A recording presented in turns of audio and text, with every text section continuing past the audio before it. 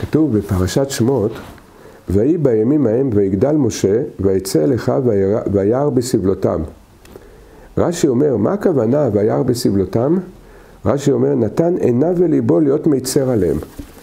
בספרים הקדושים כתוב שיש פה רמז גדול מאוד על כל אדם. ויגדל משה וירא בסבלותיו. מהי גדולת האדם כאשר האדם זוכה להרגיש את הצער של השני? יש שני מצבים בכללות באדם, קטנות וגדלות. ולפעמים אנחנו זוכים קצת לגדלות המוחין, מאיר לנו האור, ההבנה, מאיר לנו בלב העניין של התפילה, ולפעמים אנחנו בקטנות ובצמצום. התורה, הפרשה מגלה לנו יסוד מאוד גדול. מהו סימן לגדלות כאשר אדם משתתף בצערו של השני, מבין את השני ומשתדל לעזור לשני. זה סימן הגדלות. לכן הפרשה אומרת, ויגדל משה וירא בסבלותיו. מתי משה התחיל להרגיש את הצער של הגלות של עם ישראל? מתי שהוא גדל.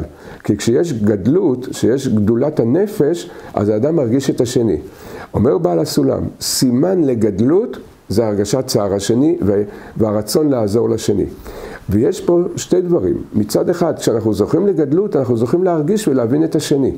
מצד שני גם, על ידי שנתאמץ להבין את השני, לעזור ולתת לשני, על ידי זה נזכה לגדלות.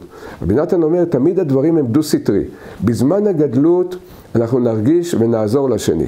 וכדי לזכות לגדלות, אנחנו נתאמץ, גם כשאנחנו לא בגדלות, כשנתאמץ להבין את השני, נתאמץ לתת, לתת לשני, על ידי זה נזכה לגדלות.